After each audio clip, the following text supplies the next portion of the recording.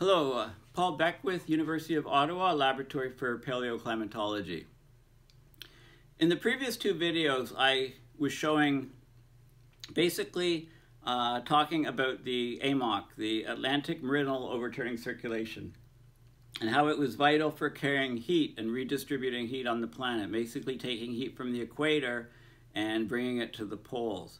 And I've, I've also been discussing two uh, very recent scientific papers that just came out that talk about how the AMOC has slowed down about 15%. Um, one of the papers was talking about within since 1950. Um, so how is this significant uh, to our to to our, our, our, planetary climate system? How is this significant to people? Um, I'm gonna I'm gonna finish off um, some of the evidence from the second paper, and then I'll just try to try to summarize it all and put it into into uh, context. Um, so what I was showing here is um, that the basically let's go back here. Actually, let's go back here and let's come back up and show you. Okay, so what we're seeing here is the Gulf Stream off of the eastern coast of the U.S., or if you like, it's in the westernmost part of the Atlantic Basin, is slowing down. So because it's slowing down, it's not curving as much, and it's overriding the eastern, the, the continental shelf off the U.S. East Coast. So this water here is anomalously warm, the Gulf Stream used to come right across up here and it would carry a lot more heat, but now it's not going as far, so this area is colder. So this is the model showing this, and this is the actual data. So in the Atlantic Basin, the model and the data have very good agreement. Now in this uh, second paper that I was talking about, this is showing the water temperature in the northwest Atlantic. Um, so this is off the this is just off of the coast of North America on the continental shelf. And what we're seeing is this is a year.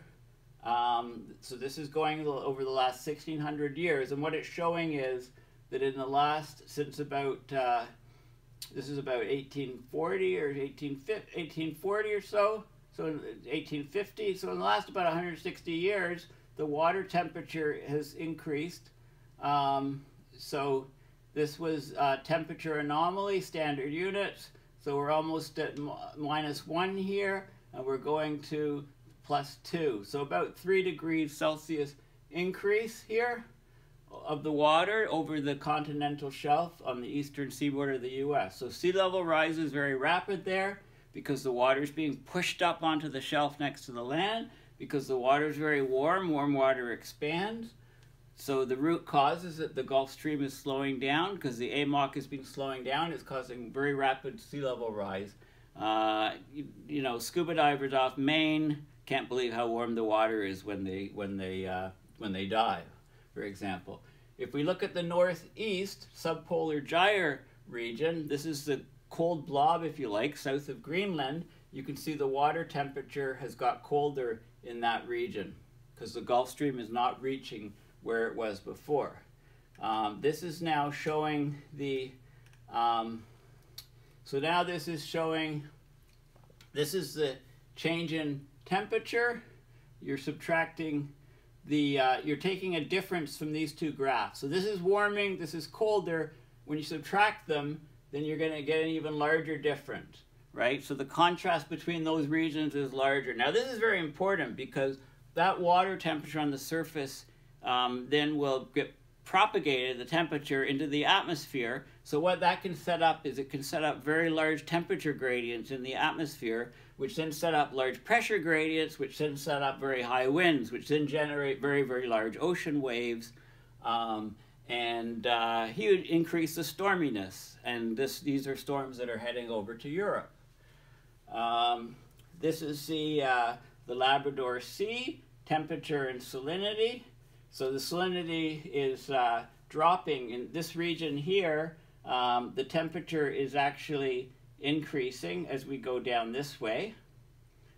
Okay, and sorry, the temperature, sorry, the temperature, yeah, the temperature is 4.4. This is increasing as you go this way. This is the salinity increasing here. Okay, so what you're seeing is that the um, there's also changes in the below the surface of the Labrador Sea. Um, we're getting more melt and more cold water uh, coming down from the Arctic as a result. And this is also this is then showing the um, this is showing the particle sizes in the cores. So, like I said, when you have very large, when you have smaller um, grain sizes in the sediments, then um, the water is moving faster. Uh, when you get the larger grain sizes, it means the ocean current at the bottom has slowed down. It doesn't have enough energy to carry the larger uh, grain sizes, so they drop out into the sediment and they can be measured in, in the coring. So this is how we, how, how we extract the data here. Um, the AMOC has, so, but, but this is arguing that the AMOCs responded to the recent um, centennial scale, 100 year scale climate change rather than being driving it. So it's not like the, so the AMOC is changes are a result of the rapidly warming Arctic. Um, and there's no surprise there. The rapidly warming Arctic decreases the temperature of the equator, causes the jet streams to slow down and become wavier, causes the ocean currents to slow down and, uh, you know, go to different locations and respond differently. Okay, so this is uh, another confirmation of the, uh, of, so we've got the two papers here that have come out recently. Now, this article came out here um, on The Guardian. Avoid Gulf Stream disruption at all costs, scientists warn. How close the world is to a catastrophic collapse of giant ocean currents is unknown, making halting global warming more critical than ever scientists say. So we know serious disruption to the Gulf Stream, you know, it is crucial in controlling global climate. Must be avoided at all costs, senior scientists have warned. Okay, uh, systems at its weakest ever recorded. Um, past collapses, again, have seen we've seen some of the most extreme impacts in climate history. Western Europe becoming going into freezing winters. We don't have that heat transported uh, to Western Europe more severe storms in Europe. Okay, we're going to have more larger temperature contrasts in the water over short distances. That translates into the air temperatures. Very large temperature gradients, very large pressure differences, high winds, high waves, more severe storms.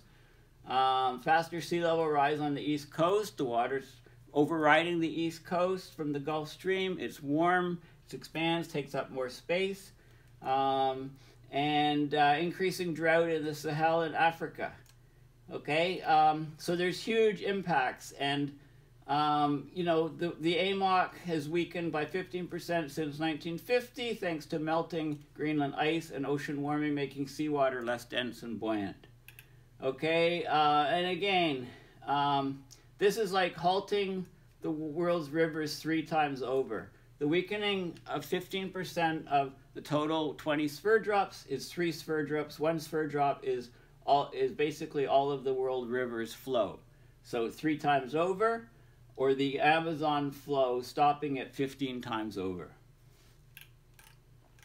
Okay, so it talks about, you know, there's other things. Uh, basically, it talks about the movie and a widespread collapse of the AMOC. Uh, course, the movie just the movie has a lot of the science right, but not the time scale.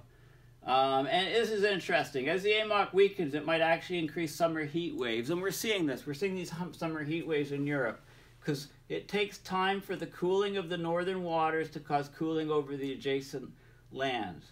Okay, so the cooler waters affect the atmosphere in a way that helps warm air to flood into Europe from the south, a situation already seen in 2015. So the idea is you get this massive cold pool south of Greenland, right? You get this trough of the jet stream, so you get a flow upwards of the jet stream, and that carries warm air into Europe, causing you know these these heat waves. The other thing is is last week is that there was a study that showed Greenland's massive ice caps melting at the fastest rate in 450 years. So let's have a look at that paper or that study. Okay, so this is a Dartmouth, um, a school school paper, and Greenland's warm 1.2 degrees compared to the 1890s. I think this is a very highly conservative number.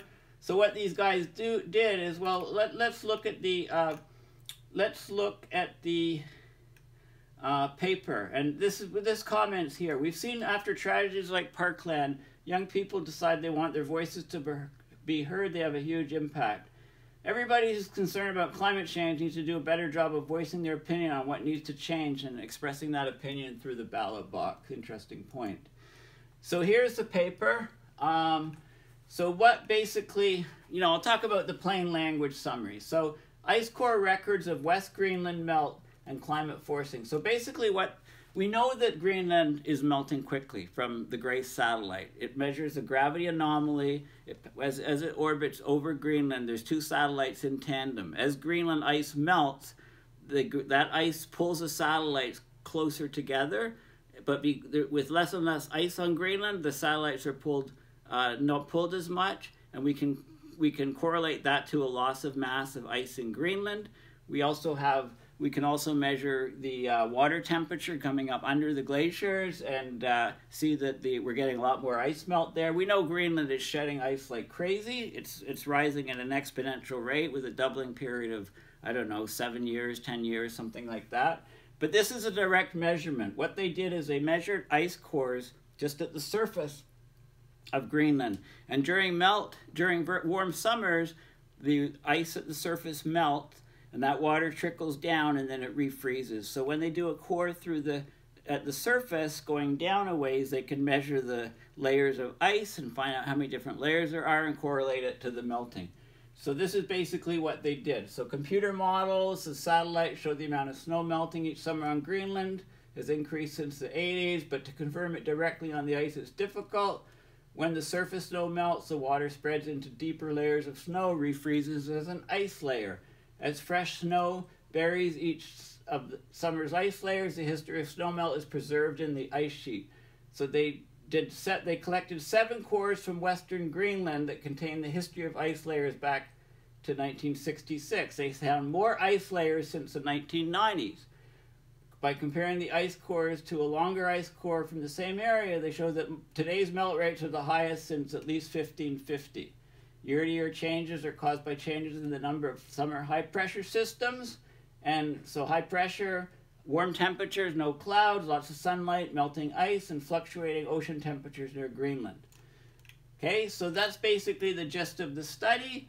Um, this is where the different cores were taken and the dates they were taken.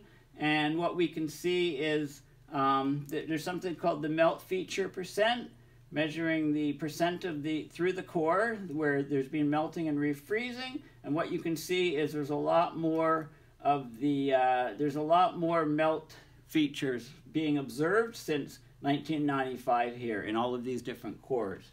Okay so this is a direct measurement. Um, so what we see here is this is the melt features since uh, so actually since 1970 it's been increasing but since the 90s it's been gyrating like crazy really high going up to 80 85 percent. Okay uh, this is the temperature on the western greenland ice sheet june july august. We've seen the temperature rise. This is in um, this is another one with uh, temperature here. Um, and these are the sea surface temperatures so warmer sea surface temperatures, warmer, uh, warmer uh, conditions over Greenland, causing more melt.